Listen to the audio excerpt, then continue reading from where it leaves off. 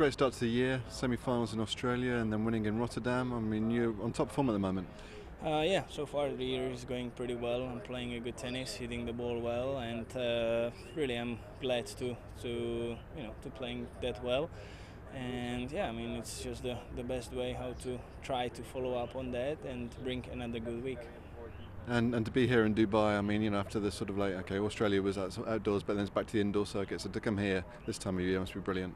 Yes, it is. I think it's uh, one of the parts that I really like to come back. You know, definitely it's the weather in this part of the year, and uh, then yes, it's the conditions that I like here because it's a bit faster. The courts are one of the fastest on tour, and uh, that suits to my game quite well. And uh, yeah, but again, it's gonna all start from the zero because, as you said, the, the Rotterdam was uh, was indoor, and it's it's always a bit of change.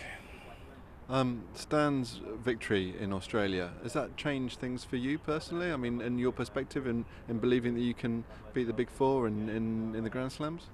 Well, basically for myself, no, doesn't change much. But uh, in the perspective of, of, of, today's tennis, yes, I think it's a it's a good change and good sign of uh, that it's it's really possible. I mean, yes, it's extremely difficult, but I think it's it's possible. He's a good sign of that, and uh, I think it's just a, another piece, uh, you know, to believe in that even more and uh, just go go there and make it one day happen.